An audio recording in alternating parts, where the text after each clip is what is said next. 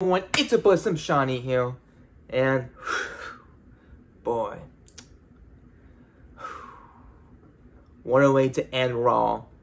I mean, Randall defeated Kevin Owens, and then later on, Randy brought Ric back to the ring, and what a promo Randy did on Ric Flair, talking about their careers, their past lives, how much Ric helped him in his career, got him to where he is right now, and then Randy just threw that away, dissing Ric and how much he hates him. And boy, Ric Flair, God, fairly emotional. Wow.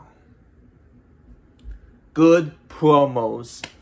I mean, it just it just gives you goosebumps because we all know that Randy was gonna attack Ric Flair, which he did. He low blow him, Ric Flair, and then wow, it just gives you like chills, like like your heart beating, like you know it's gonna happen, but you don't want it to happen. That Randy punts Ric Flair in the hand. Now we all know that by the time he did that, lights just went out. But come on, Ric Flair is 71 years old, a legend, and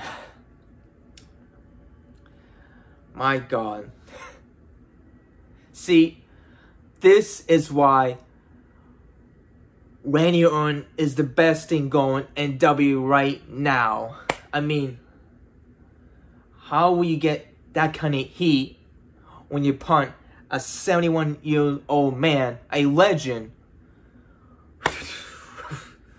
wow. Randy Orton is the best hero in W right now.